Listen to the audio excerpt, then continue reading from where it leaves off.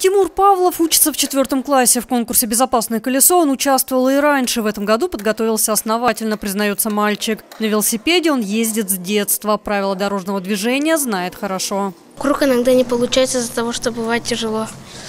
А так хорошо получается, если не спешить. Не выезжать на проезжую часть, э, слезать при переходе дорогу с велика.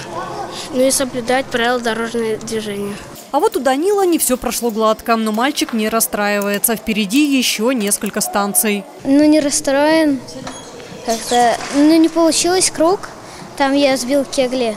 Участникам конкурса необходимо пройти три станции. Знатоки правил дорожного движения, фигурное вождение велосипеда и основа безопасности жизнедеятельности. Одной из самых сложных оказалась последняя, признаются школьники. Нужно не просто знать правила и знаки, но и ориентироваться на карте. Не ожидали то, что пойдет все так.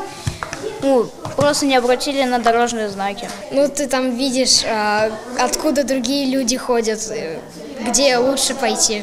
В конкурсе «Безопасное колесо» участвуют школьники в возрасте 9-11 лет. Главная цель – закрепить у детей знания правил дорожного движения. Конкурс «Безопасное колесо» является первенством среди отрядов юных инспекторов движения. Традиционно во время весенних каникул в городе Набережные Челны проходят районные этапы республиканского конкурса «Безопасное колесо», где принимают участие отряды юных инспекторов движения со всех школ города. Команды, занявшие с первого по третье место на районном этапе конкурса, проходят в городской этап.